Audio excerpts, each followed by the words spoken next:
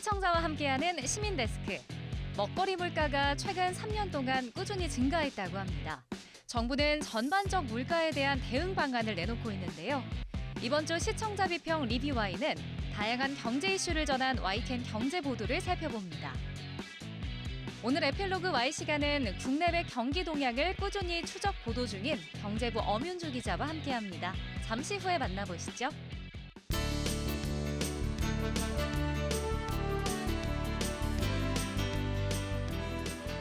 시청자 여러분 안녕하십니까? 오늘부터 시민데스크 진행을 맡게 된 정지웅입니다.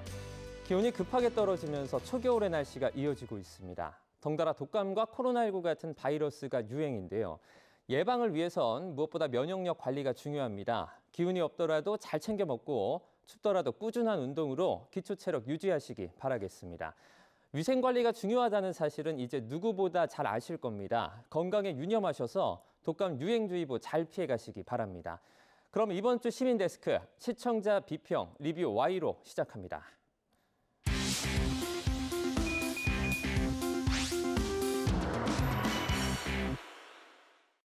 네, 세 분 어서 오세요. 안녕하십니까?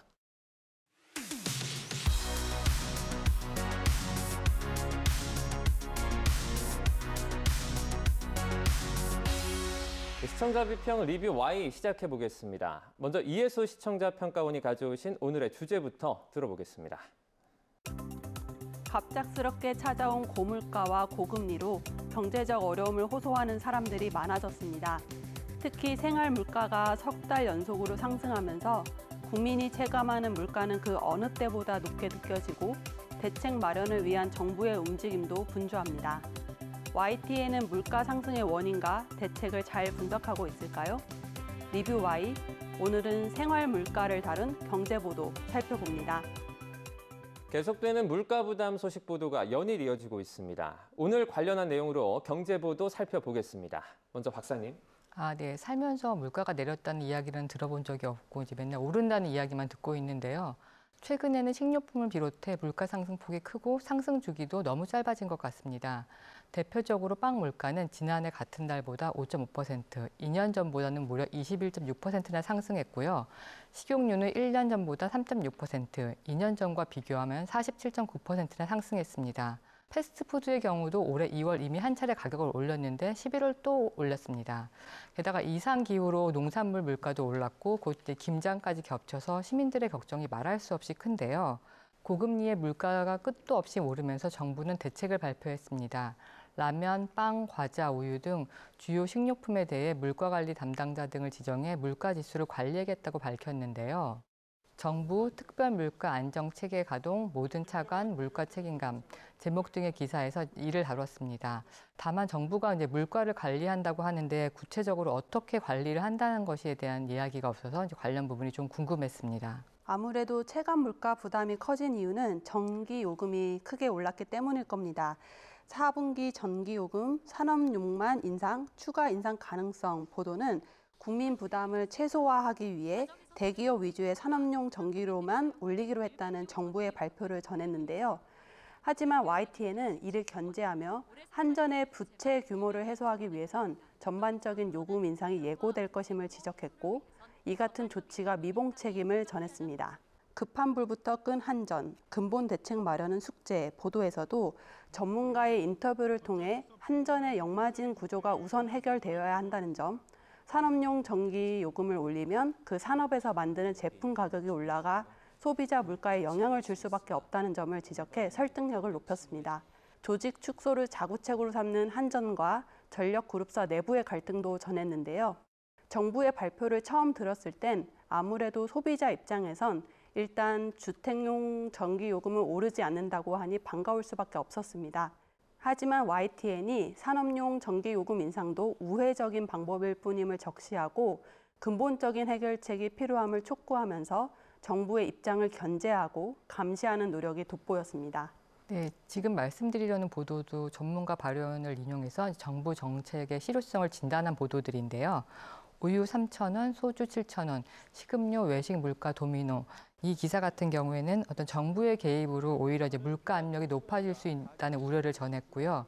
기시감 드는 빵 사무관, 물가 관리 실효성에서는 실제 정부의 압박을 피해 기업들이 가격을 직접적으로 올리는 대신 제품의 용량을 줄여서 사실상 가격을 이제 올리는 슈링크플레이션에 대해서 다루고 있습니다.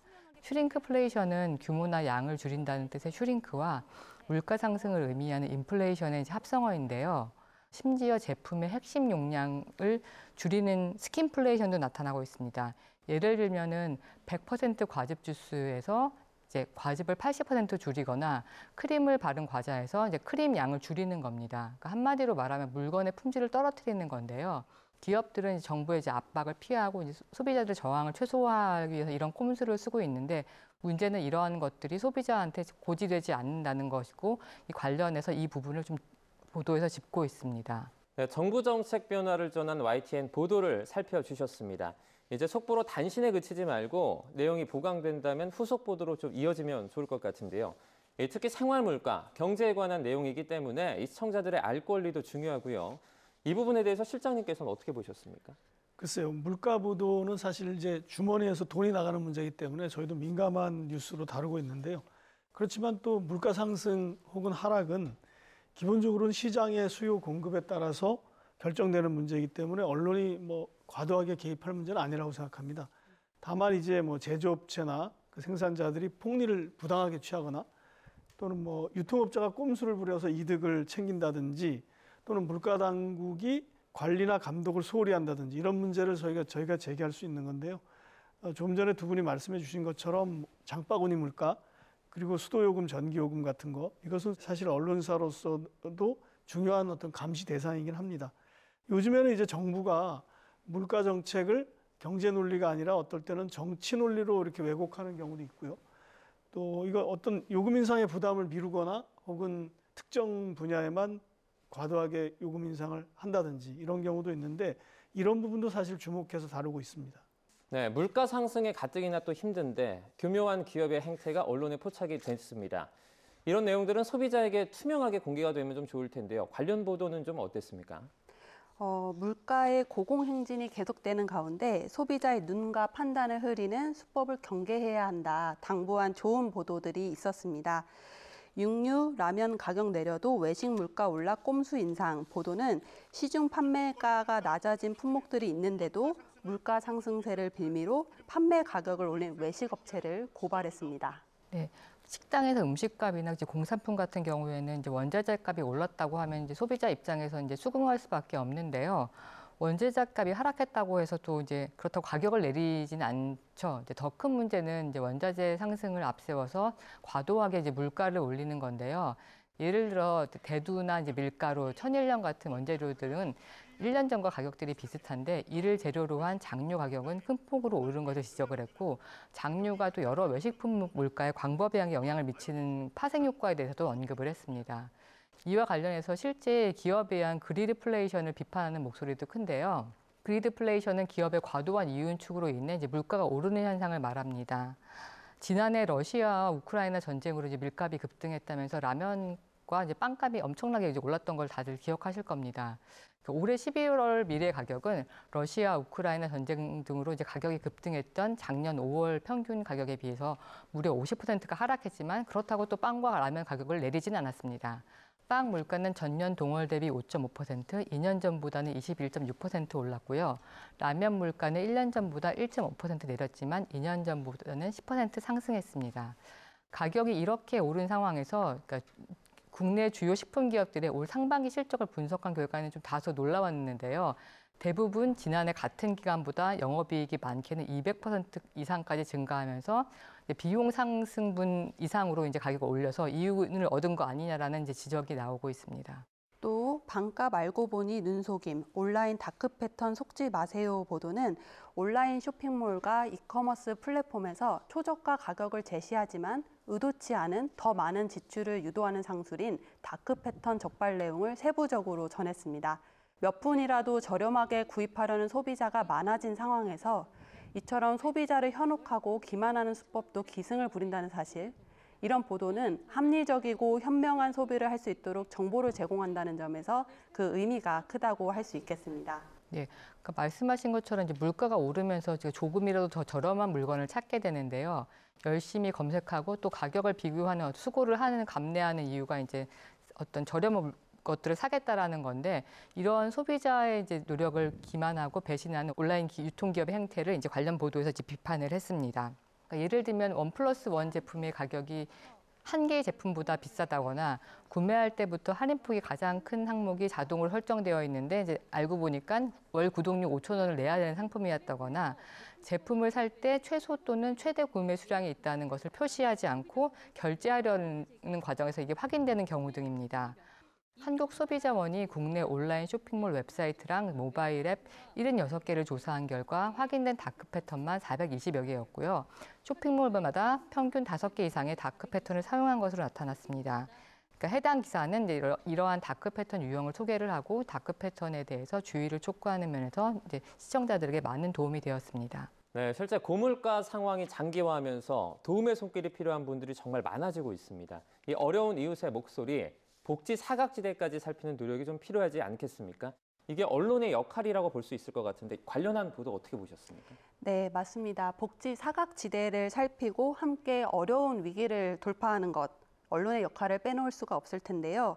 고물가 시대에 마음을 따뜻하게 데워준 보도가 있었습니다. 와슈 선한 영향력 돈줄 내러 왔습니다. 보도는 결식 아동을 위해 식사를 무상으로 제공하고 있는 가게들을 소개했습니다. 아동 급식 카드가 있음에도 사용하길 머뭇거리는 아이들을 위해 가게들이 선한 영향력 가게 단체를 결성해 식사 한 끼를 제공하고 있다는 미담을 전했습니다. 네, 고물가로 시민 모두가 힘들지만 특히 고물가에 취약한 사람들은 바로 저소득층일 것입니다. 끼니마다 무료 급식소 원정, 고물가의 한파까지 저소득층 시름 기사에서는 60만 원의 생계급여로 살아가야 하는 기초생활보장 수급자를 취재했는데요. 물가가 천정부지로 오르고 있음에도 기초생활보장 수급자들이 받는 생계급여는 오르지 않아 무료급식소를 전전하면서 끼니를 해결해야 하는 최소한의 생계 유지도 어려운 상황을 전했습니다. 이어서 소비 심리 세 달 연속 하락, 100원 아침 찾는 대학생들 보도 또한 식비 부담을 경감하기 위해 대학들이 저가의 학식 메뉴를 내놓았다는 소식인데요. 단돈 100원에도 든든한 한 끼와 후식까지 제공하는 여러 학교의 사례를 보면서 감사한 마음도 들었습니다. 하지만 추워진 연말에 이 같은 소식이 훈훈하다, 좋다 생각을 하면서도 한편으로는 이런 이슈들이 그저 누군가의 선행을 칭찬하거나 미담 발굴로 그치는 것은 조금 아쉽다는 생각도 듭니다. 아이들이 왜 아동급식 카드를 쓰길 망설여 하는지, 이 제도가 아동이 균형 잡힌 식사를 할 수 있도록 메뉴 선택권이 충분히 보장되고 있는지, 지원금이 고물가 시대에 발맞춰 적정으로 책정되고 있는지를 같이 살펴볼 필요가 있겠고요. 대학생 학식 보도도 100원 아침을 제공하는 대학을 호평하고 고마워하는 것을 넘어서 생활비와 식비 문제로 밥을 굶는 청년들이 많아진 상황을 보다 비판적으로 들여다보고 이를 해결하기 위해서는 어떠한 사회적 논의가 필요한지를 제시하는 것도 중요하겠습니다. 두 기사 모두 참 좋은 기사였지만요. 언론이 미담 발굴만으로 그 기능을 다할 수 없기에 그 이면에 꼭 짚고 넘어가야 하는 문제가 무엇인지 놓치지 않았으면 하는 마음을 담아 의견을 전해봅니다. 네. 아, 이제 경제 대국과는 별개로 빈부격차, 양극화라는 어두운 단면은 늘 좀 뒤따르는 것 같습니다. 어렵겠지만 꼼꼼히 둘러보는 언론의 자세가 정말 중요할 것 같은데요. 이런 부분이 방안 마련에도 분명히 도움이 되겠죠. 네, 맞습니다. 사실 이게 뭐 당연한 말씀입니다. 단순히 관심을 갖는 차원을 넘어서 지원 금액은 적정했는지, 그 다음에 왜 학생들이 이런 그 물가고에 시달리고 있는지, 양극화 문제, 빈부격차 문제, 이런 문제의 해결 방안을 찾는 것, 저희는 뭐 당연히 노력을 해야 된다고 생각하고요. 지적에 굉장히 공감합니다. 동시에 제가 말씀드리고 싶은 것은 요즘 기사를 보면은 뭐 거의 그 전쟁 기사가 많고요. 양극화 기사도 많고 물가 상승 기사도 많습니다. 굉장히 무겁고 어두운 기사. 이 TV를 보면은 이런 기사가 거의 70% 이상을 차지하는 것으로 저는 느끼고 있는데 이런 기사와 함께 어, 작지만 미담 기사를 찾아서 보도하는 것도 굉장히 중요하다고 생각해요. 어려운 가운데도 사람들이 이제 희망을 찾고 그다음에 낙관적인 힘을 주고 하는 것 그런 것도 하나의 저희가 할 수 있는 기능이다. 저는 그런 생각을 가지고 있습니다. 이제 경제 보도만 보면 한숨이 절로 쉬어진다 이런 분들도 계시고요. 이럴 때일수록 보도에 신중을 좀 기울여야 할 것 같습니다. 이 부분과 관련해서 개선할 점이 좀 있을까요? 네, 물가 불안을 앞세워 부정적인 감정을 자극하는 기사들 늘 지적하지만 여전했는데요. 그 헤드라인만 좀 살펴보면요. 김치도 못 먹겠네. 서민 잡는 살인 물가 비상. 서민들은 어떻게 살라고 억장이 와르르. 쓸 돈이 없다. 채우 보루마저 흔들 등이 있고요. 이 외에도 미친 물가, 절망, 서민들의 곡소리, 숨만 쉬어도 지갑이 거덜나, 물가 한숨, 악소리 나는 통계 등의 표현이 헤드라인과 보도 내용에서 곧잘 쓰이기도 했습니다. 온라인 콘텐츠인 자막뉴스 카테고리에서 이 같은 표현을 많이 접할 수 있었고요. 이 보도들은 물가 상승의 원인을 짚기보다는 인플레이션을 가장 부각할 수 있는 수치를 제시하면서 그에 맞는 취재원을 인터뷰하고 살림살이가 팍팍하다, 힘들다라는 감정적인 의사를 전달하는 데 집중하고 있습니다. 이런 방식의 보도가 물가의 급등의 심각성을 보여주기엔 효과적인 방법이지만요. 가뜩이나 오른 물가의 언론 보도까지 불안을 가중한다면 소비자들은 마음이 더 무거워질 수밖에 없겠죠. 숫자가 많아 어렵고 재미없는 경제 뉴스를 전할 때는 아무래도 이목을 집중시키기 위해 더 자극적이고 강한 어휘, 사례를 찾게 되는 것 같습니다. 하지만 사실 보도를 넘어서 여러 감정적인 수식어가 더해지는 경우는 그것이 언론이 물가 상승의 감시 기능을 하기 위해 보도했음에도 불구하고 불안만을 가중시킬 뿐 그 이상의 효과를 얻기 어렵다 말씀드리고 싶습니다. 또 경제학자들은 물가 불안을 앞세운 보도들이 되려 물가 상승을 부추길 수 있기 때문에 가급적 자제해야 한다고 말하기도 하는데요. 이 점 유의해서 국민의 불안을 자극할 수 있는 어휘나 표현은 지양할 필요가 있겠습니다. 네, 아마 시청하고 계신 대부분이 이 경제보도 한 글자 한 글자에 민감하실 겁니다. 시청자에게 전달되는 이슈들, 이 YTN 경제보도가 어떻게 만들어지는지 이어지는 에필로그 Y에서 확인해 보실 수 있습니다. 놓치지 마시고 시청해 보시기 바라겠습니다. 네, 그럼 오늘 리뷰 Y 내용 정리해 보겠습니다. 이것만은 꼭 시간인데요. 평가원님부터 오늘 리뷰 Y 어땠는지 좀 평가를 해 주시죠. 생활 물가 경제 보도 다면 분석과 평가를 우선해야 계속되는 물가 상승세에 소비 심리가 얼어붙고 소비 지출에 대한 전망에도 부정적인 여론이 많아지고 있습니다. 이때 언론은 생활 품목 각각의 가격 오름세를 경쟁하듯 보도하는 것보다는 물가 상승의 원인을 다면적으로 분석하고 차분하게 대책을 제시해야 할 것입니다. 정부의 정책 판단에 대한 견제와 감시도 잊지 말아야겠죠. 지나친 불안감만을 조성하는 것은 또 다른 물가 상승과 소비 위축을 야기해 자칫 언론이 경기 회복의 걸림돌이 될 수 있다는 점을 유의해 주시길 바랍니다. 네, 이번에는 이선민 박사님의 오늘의 한 줄 평 들어보겠습니다. 국내 고물가 현상 세밀한 자세로 입체적 정보 발굴해야. 언론에 나타나는 고물가에 대한 원인은 대체로 원자재값 상승, 작황 부진이었던 것 같습니다. 그렇다면 물가 상승은 자연스러운 현상일까요? 언론은 세계적인 고물가라고 말하지만 현재 한국 물가가 높다는 것 외에 시청자들이 판단할 수 있는 구체적 정보가 없습니다. 한국의 안과 밖, 경제의 안과 밖, 전체적인 추세를 훑을 수 있는 경제 보도를 부탁드립니다. 네, 오늘 리뷰와의 순서는 여기서 마치도록 하겠습니다. 세 분 오늘 말씀 잘 들었습니다. 고맙습니다.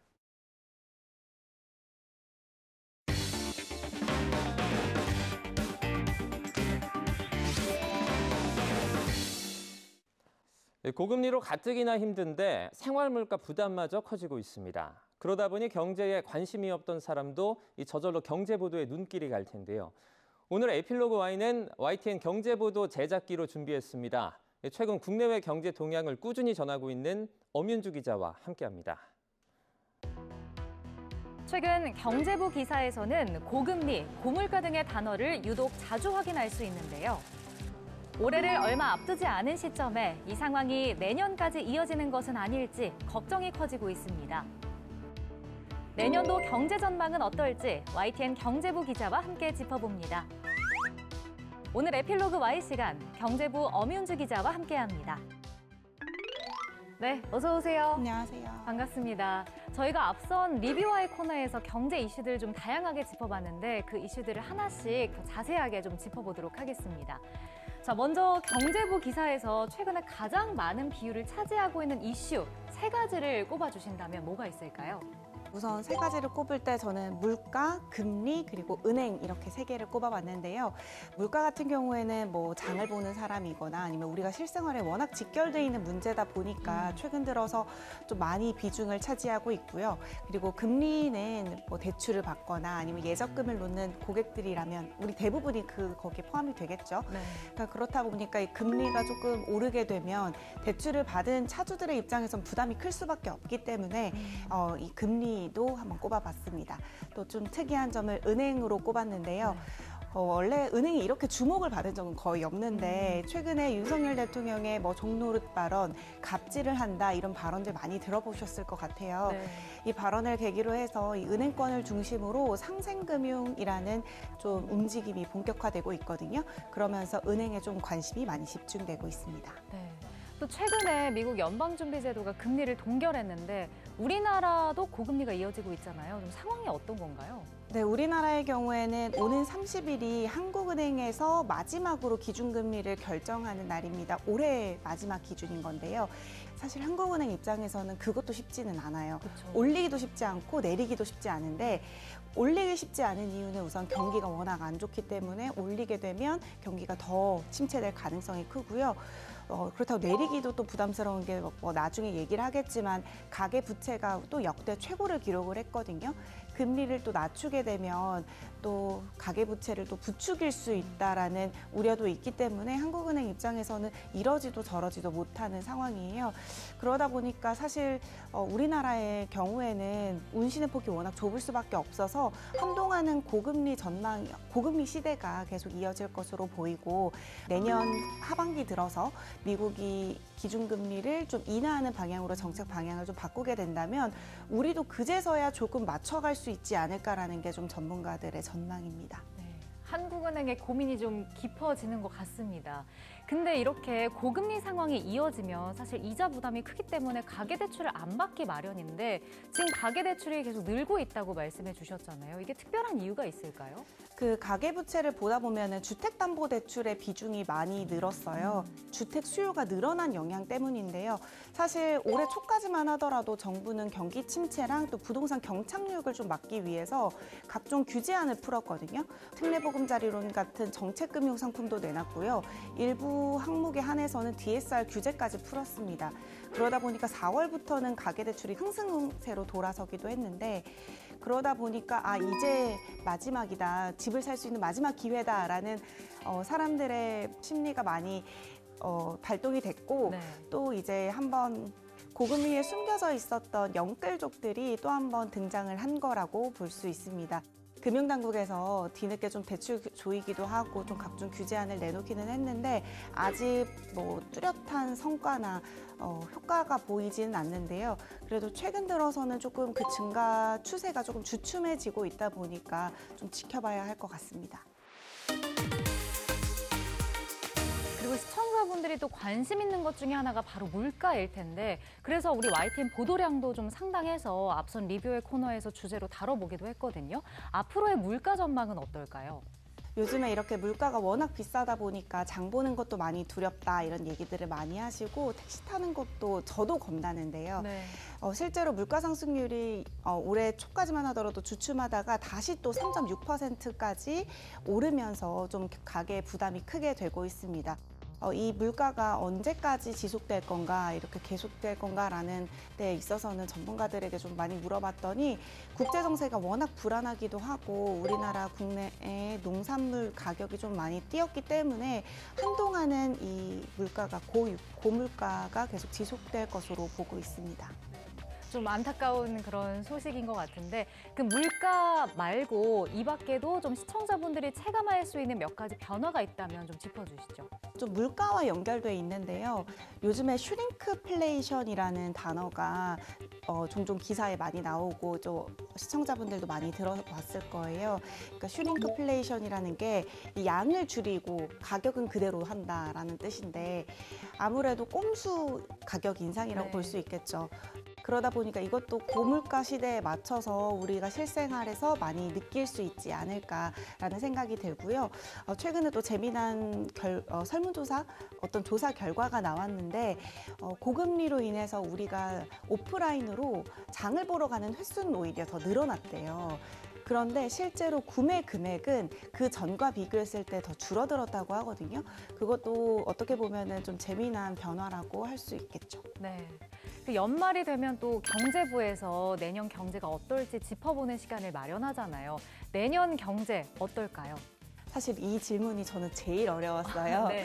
네, 한국은행 이창용 총재도 기자간담회에서 이런 얘기를 저희가 기자들이 많이 물어보고는 하는데 뚜렷한 답을 하지 않거든요. 워낙 모르고 변수들도 많고 저희 같은 경우에는 그래서 어, KDI의 결과를 많이 참고를 하는데 네. KDI에서는 내년 경제 성장률을 2.2%로 보고 있는데요.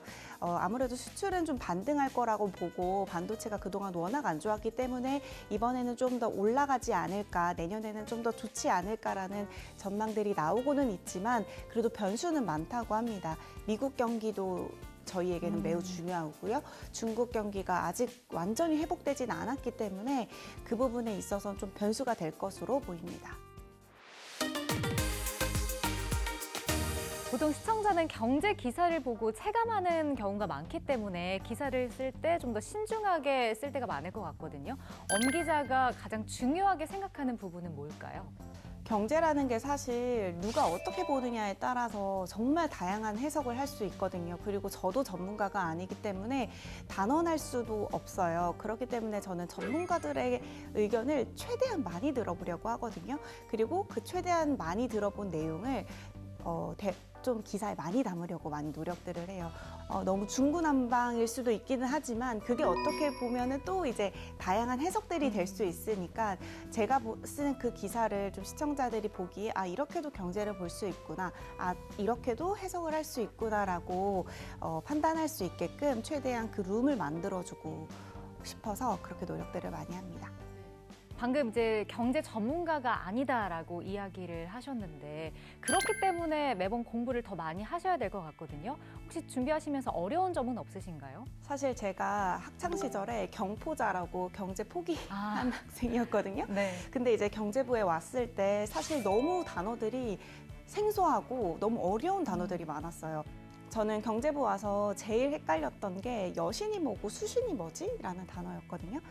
근데 이게 여신과 수신이라는 정말 기본적인 금융 지식조차 없는 제가 기사를 쓰는 데 있어서 사실 부담이 많이 됐고 이게 쓰는 게 맞는 걸까? 이렇게 써도 되는 걸까라고 고민을 진짜 많이 했거든요.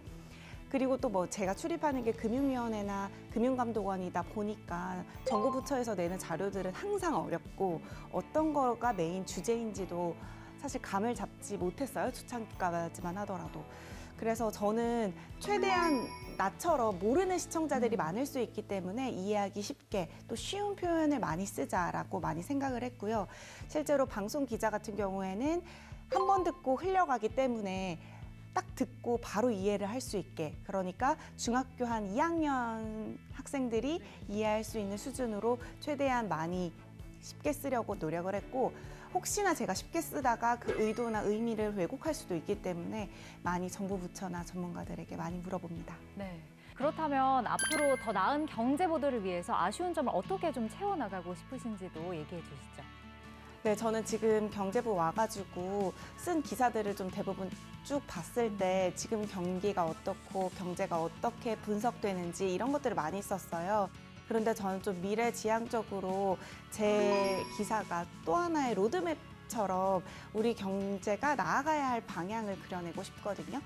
경제 당국이나 금융 당국 또 이제 정부에서 우리 경제가 체질 개선을 해야 된다 이런 얘기들을 정말 많이 하는데 그렇다면 그 체질 개선을 어떻게 해야 되는 건지 어, 디지털 금융 혁신이라는 말도 많은데 이 디지털 금융 혁신을 위해서 우리가 어떻게 해나가야 되는 건지 지금의 모습들에서 좀 어떤 부분이 개선되어야 되는지를 좀 제가 많이 짚어보고 싶고 그런 부분에 대한 기사를 쓰기 위해서 노력을 하고 있습니다. 네.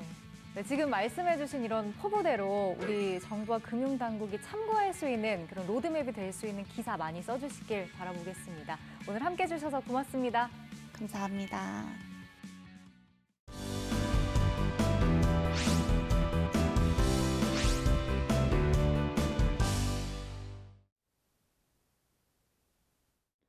안녕하십니까. 2023년 11월 YTN DMB 회의를 시작하도록 하겠습니다.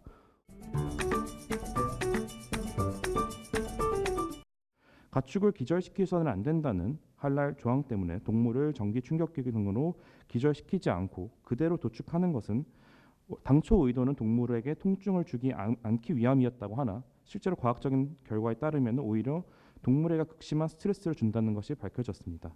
이러한 이유에 따라 덴마크, 폴란드 등 전- 선진국은 비기절 도축을 허용하지 않고 있으며 네덜란드 또한 2017년부터 할랄 도축을 금지하고 있습니다. 대한민국의 동물보호법 역시 제10조에 따르면 도살 과정에서 동물에게 불필요한 고통이나 공포, 스트레스를 주어서는 안 된다고 규정하고 있는데요. 이러한 한우의 할랄 수출이 식품 산업 측면에서는 충분히 반길 만한 성과임에는 틀림이 없으나 동시에 이슬람 율법에 따른 동물 학대를 인정한다는 측면에서는 여전히 많은 논란이 있는 측면이라고 생각이 됩니다. 프로그램에서 다양한 외국어들이 사용되는데 한국인을 대상으로 하는 프로그램에서 이러한 외국어를 사용하는 것이 적절한지에 대해 생각해 볼 필요가 있습니다. 예를 들어 이 프로그램에서는 지속적으로 한국의 어떤 것을 K를 붙여서 표현하는데요. 애초에 K-팝, K-컬처 등과 같이 K를 붙여 한국의 것임을 가리키는 것은 외국인들이 외국어로 한국의 것을 간략하게 나타내고자 할 때 사용하는 표현이었고 어원 역시 영어에서 온 것입니다. 따라서 K 라이스벨트와 같이 외국인들을 대상으로 하는 사업 이름에 K를 붙이는 것은 이해가 되지만 한국인들을 대상으로 하는 프로그램에서 한국 농기계를 한국어로 설명할 때 K 농기계라고 표현하는 것이 내용 전달과 정확한 표현을 위해 적절한 것인지 의심스럽습니다.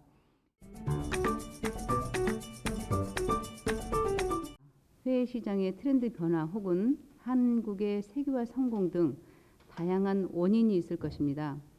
이러한 내용을 통해서 현, 어, 현상의 근원을 전달하는 것이 필요해 보입니다. 구체적인 도표와 그래프가 부족합니다. 시각적 자료가 필요한 이유는 청자가 시장의 중요성을 인지하는 데 도움을 줄 것이며 또 세금 투입의 타당성을 가지고 국민적 지원이 가능할 것으로 보입니다. 매년 K푸드 시장의 성장 및 전망과 한랄 시장의 규모 및 성장 전망에 대한 시각적 자료가 포함되는 것이 필요해 보입니다.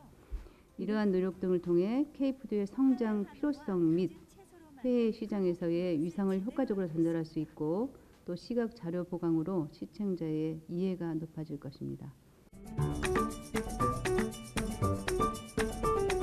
서사의 내용을 뒷받침하지 못하는 평범하고 매너리즘적인 영상 구성이 문제가 있다고 판단됩니다.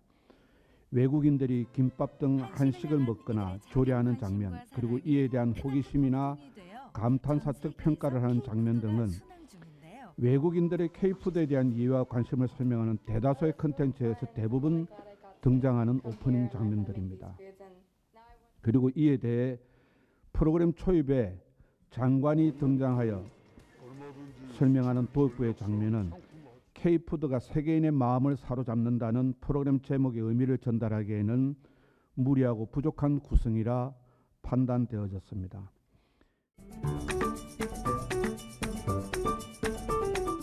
이러한 이야기를 담아내는 전문가로서 지나치게 정부 관료나 장관 인터뷰에 의존을 하다 보니 정책 홍보 영상으로 여겨지게 만드는 부분도 없지 않습니다. K푸드가 과거 성공하지 못한 이유라든가 최근에 갑자기 성공하게 된 이유 등을 한류 전문가나 음식 전문가의 입을 빌어서 보다 전문성 있게 보여줄 수도 있을 것입니다. 이는 프로그램 콘텐츠에 대한 신뢰를 높이고 시청자의 정책 지지로도 이어질 수 있을 터인데 너무 정부 관료 중심으로 공식 인터뷰를 하다 보니 오히려 프로그램 흥미는 낮추게 하는 요인이 됩니다.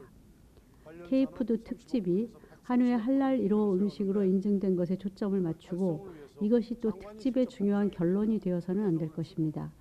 K푸드 성공 사례는 아니더라도 지금까지 왜 성공하지 못했는지 이에 대한 문제점이나 개선점이 함께 더 다루어지면 더 좋았을 것입니다.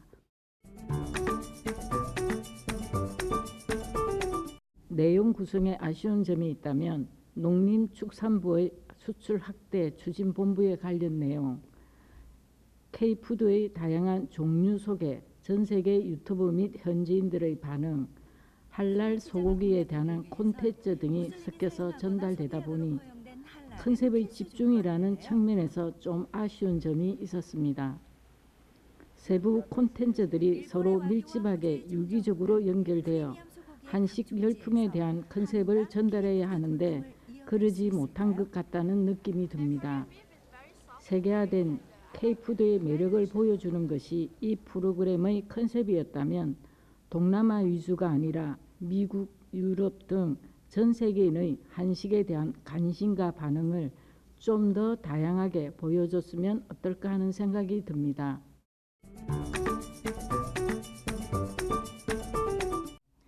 우리나라에서는 최근 스마트팜 기술의 발전으로 한때 농업 영역에서는 찾아볼 수 없던 청년층의 농업 영역으로의 유입이 다소 증가하고 있긴 하지만 여전히 그 종사 인구수가 현저히 부족한 1차 산업인 농업의 놀라운 경제적 가능성 그 이상을 보여주는 특집이라 좋았습니다. 전 인류를 놓고 보자면 앞서 언급한 여러 가지 이유로 식량 공급 체계가 무너져서 갈수록 빈익빈 부익부의 현상이 1차 산업에서 극대화되어 언젠가는 식량이 무기화가 되는 상황까지도 갈 수 있다는 의견도 나오고 있는 지금 농업 환경이 열악한 아프리카와 중동 지역의 나라들이 신뢰할 만한 농업 기반을 만드는 데 도움을 제공하고 있음과 동시에 우리의 미래 솔루션에 대한 큰 가능성 또한 보았습니다.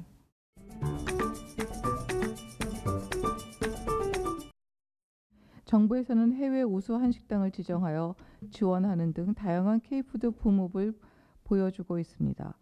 본 프로그램에서 중점을 두는 부분은 한우의 말레이시아 수출권으로 보여집니다. 말레이시아는 이슬람 국가로 이들 국가로 수출하려면 할랄 인증을 받아야 합니다. 한국의 많은 중소기업들이 수출에 필요한 이 제도를 알고 있지만 비용이 높고 현지인의 입맛을 만족시킬 것인지 등 우려 사항도 있습니다. 본 프로그램은 그 속에 정부도 함께 하려는 의지와 노력을 보여주고자 한 듯합니다. 모두 함께 응원하는 부분이며 함께 키워가야 할 부분임에 공감합니다.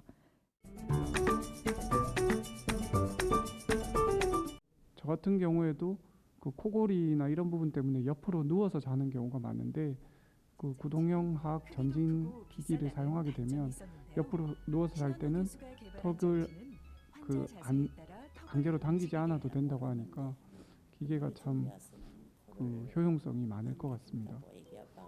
그래서 특허 편에서는 그 이번에 보니까 거의 대부분 의료 기기나 이런 쪽이 많이 나왔는데 그런 부분이 참 감회가 깊었습니다. 그리고 이번 특허 방송에서는 개별적인 그 특허 기술에 대한 소개가 많이 있었는데 다음번 방송에서는 정부나 기업 뭐 조금 나오긴 했지만 대학 차원에서 우리나라 특허 기술을 개발하고 또 여러 가지 활용하는 거시적으로 어떻게 진행하고 있는지도 다뤄줬으면 좋겠다는 생각이 들었습니다. 이상입니다. 해외에서 한국의 음식들을 외국인들이 직접 시식해보고 또 만들어보고 또 이러한 그 커뮤니티가 활성화되는 어떤 장면도 굉장히 인상적이었는데요. 대한민국 정부도 또한 이러한 K푸드를 더욱 글로벌하게 활성화하기 위한 전략으로 수출 확대 추진 본부를 설립하고 어, 진행하는 적극적으로 진행하는 어떤 그러한 정보는 우리나라의 동식품 관계자들에게 정말 희소식이 아닐까 하는 생각이 듭니다. 특히 다민족 국가인 말레이시아를 대상으로 K푸드에 대한 현지인들의 인터뷰 장면과 K푸드를 즐기는 모습이 굉장히 인상적이었고요. 또 한국의 농산물의 발전을 상징적으로 보여주고 8년 만에 어, 캄보디아로의 한우 수출을 시작하는 장면도 의미 있는 장면이었습니다. 좀 더 한국의 다양한 음식들이 또 세계에서 어떻게 판매되고 어떻게 자리 잡고 있는지 또 대한민국 정부도 어떠한 노력을 하는지에 대한 넓은 방역과 어, 깊은 어, 방향으로 좀 더 제작되면 어떨까 하는 의견을 내어봅니다. 2023년 11월 YTN DMB 시청자위원회 회의를 모두 마치도록 하겠습니다. 시민데스크는 시청자의 목소리로 YTN을 깊이 돌아봅니다. 방송에 대한 여러 의견들 이 SNS와 홈페이지, 전화로 남겨주시고요. 저희는 다음 주 다양한 시청자 의견으로 돌아오겠습니다. 시청해주신 여러분 고맙습니다.